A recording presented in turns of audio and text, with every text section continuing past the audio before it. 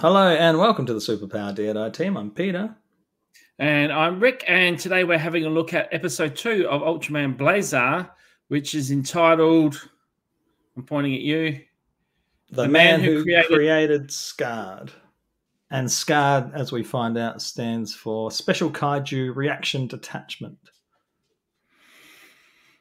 Where's the A for in? We've missed a Oh, it's, it's a little A, so you don't you don't count it. Maybe maybe it's part of Kaiju. Okay. If you enjoy our videos, please uh, press the like button and the subscribe button. And if you've got any videos you'd like us to react to or shows you'd like us to review, please put them in the comments below. So last week we um, noted that um, it just started with the kaiju coming out, and I said that it'd be nice to get some sort of backstory about why that that kaiju just came out. And some people in the comments just said it's just to show that the world is full of kaiju's coming to attack things that's just commonplace um, Yep. in that environment so but this this episode i like that they sort of introduced on the fishing boat that the um, kaiju was coming from the sea i think gedos was Yeah. it was it gedos Uh, I, can't, I can't remember. Gatos? No, something like that. Yeah. Yeah, so And- um, the old fisherman said, like, gave us a bit of a backstory. Said that it was um, normally very peaceful, but sometimes comes up. Oh, what what was the reason why it came up? If it was not enough fish or something? Yeah, it's, it was an environmental reason. And yeah, which is yeah. which is why I thought this episode was a bit weird in the fact that this this kaiju was sent, uh, coming back because it's giving us a reason because there's no uh, it's, it's running out of fish. We're, we're fishing too much. We're doing the wrong thing to the ocean and stuff like that. So it's a reminder that we need to treat the ocean well. Instead, they go and kill it. yeah. Just maybe because the old guy, the old guy at the end did say, "Oh, he exploded," um, but uh, the guy guy at the end did say he could come back if we continue with our ways. And I'm going, shouldn't shouldn't that kaiju be the good guy? Yeah, Like, isn't isn't it just reminding us our responsibility of treating the earth nicely? Anyway, no. Well, I mean, they're they're attacking it because it's attacking places where people live. I suppose. because we were doing things. Yeah, I guess it's like when a, which I don't agree with, but I guess it's like when people like kill a shark that's bitten someone or something. Yeah. Anyway, They they don't know that you know they're not out trying to kill humans, but they yep. mistake it for food and Hmm. yeah, anyway, th- so this this episode was uh, a kind of uh, getting the team together, pulling Yeah. the team together, and seeing seeing what it can do on its first outing, sort of thing, or kind of getting to know the other uh, team members, uh, best of the best, who look like some of them couldn't tie up their own shoelaces if they were asked. And that's unfair, but it's like they they come across as this zany. Every every person has a specific skill, which is, I guess, why you build the team, yeah. uh, a- a la Mission Impossible. But they, The series, the not the movies. yeah, if if you're getting a team together of the best of the best, you'd think they would react. They would act a little more um, response. I don't know. No, responsible. I think it's overplayed for the audience. I think the audience is What's that? I think it, a bit younger than us, and I think they're trying to make it a bit zany and entertaining. Like with some of And the that's what- humor, like I that's what it is. find the humor over, overly funny, but I think you know if I was part of Five the years old. audience, I'd probably think it was Yeah. funny. Yeah. Um, Yeah. that whole the whole pen gag going around. Oh, oh, you need to sign these. Oh, who's got a pen?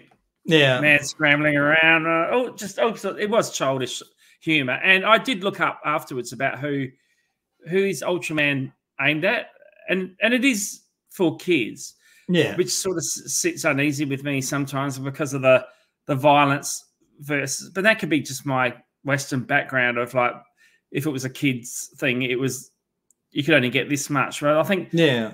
the the Japanese aren't scared of the uh, ultra violence for the kids. But I think it's also sense. something that's crossed over to adults as well because it's, I think it's Yeah. a little bit like Doctor Who. Doctor Who's was supposed to be like a kids show, and that's Yeah. become really big with with adults over the years. So Yeah, I think it's Yeah. per- perhaps something akin to that. But I did appreciate that this one had more of a story. Like it, it wasn't just a monster smashing up and then a fight at the end. This had, you know, some actual narrative to it.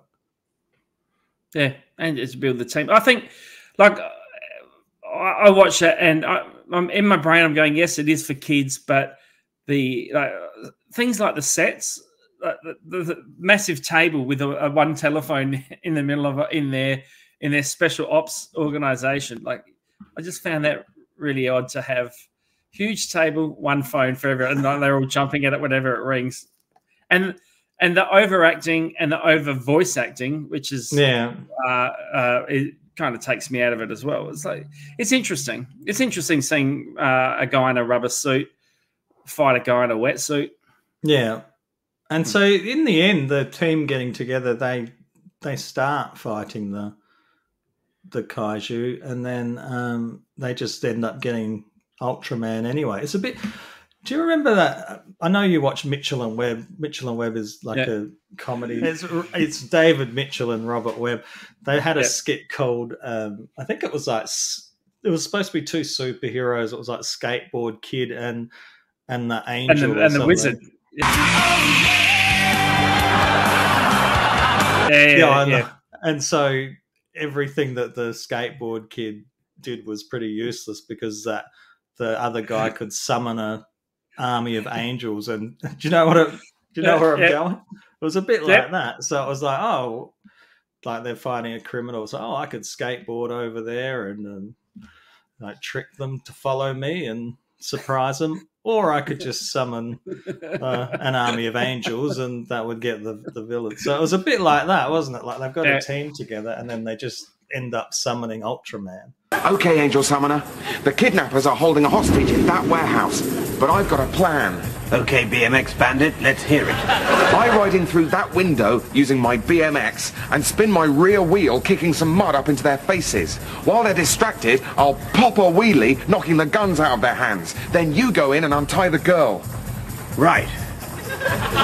or I could just summon a horde of angels to sort it out. I was actually a bit disappointed that they had to bring Ultraman into this one because um, it, look- the team actually had a strategy. That, like they knew that they had to try and shoot it in the in the porthole where it was blowing out the gas. Like I would like to see them have solved it as a as a team this time around, Yeah. and like actually be. But yeah, uh, just all of a sudden, oh no, I got one shot in. It was working. Uh, but now I need Ultraman, and that, I think it happened accidentally too. He wasn't what that he Yeah, I'm not sure. no no I don't- because it he was actually going for a second shot up the up the clacker, and the but then the the the medallion thing he got started burning in his pocket or something, and he took it Oh, out, okay. and that's yeah, I do the, remember something. that's when the that. yeah, and that's when Yeah. the Ultraman thing came out. So it wasn't it wasn't like they called him, but I, I don't know what the trigger was for it the Ultraman burning. thing happening. Yeah.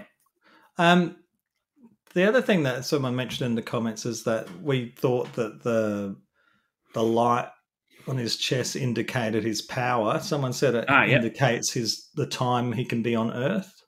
So that's Ah, why he okay. still had his power to defeat the baddie. But But it's just saying had to do it. you've got to Yeah. get out there. So he still keeps his strength and his power. It's just that Hmm. he's only got a limited amount of time to be to be on Earth. But So yeah, what, so was special, what was his special power today? It was a Ultraman fishing rod. and that's the other thing I didn't get because they set up that this is you know quite a peaceful animal that most of the time is at the bottom of the ocean or whatever. It looked Yeah. to me like he was going back to the bottom of the ocean, and then Yeah. um, Ultraman fishes him back. Like, why didn't he just let him go? Yeah, go back and be peaceful there. I'll come back. If we you- got to. if you get back here, I'll come back. That was so we could defeat. I guess you have to defeat the kaiju, but and so then at the end, the um the boss, um the man who created SKaRD, I guess he.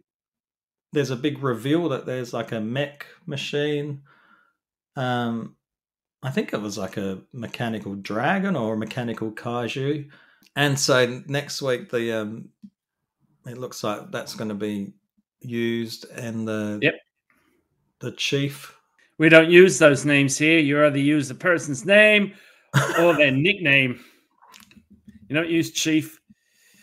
Uh, anyway. No, but the the boss of all of them um, Oh yeah, General has given the order that they need to General uh, defeat defeat the kaiju without Ultraman's interference or help. Oh, that's right. Yeah, because there, So there's that's that going to be next. That's going to be episode three's story, I guess. So yeah, th- that's the suspicion that uh, no, sorry, the distrust. They don't know who Ultraman is there to serve. Well, the general doesn't. He's like he's still a threat. He's a giant guy who's a threat. We've got to take it seriously. So that was episode two. So next time we'll look at um, episode three and see Well- some mechanical dragon action. and uh, go Ultraman. Thank you for watching the Superpower Dare Die team. If you enjoy our videos, please like them and please subscribe to our channel. And you can comment down below. We love a comment. And please ring that bell. Ring that bell.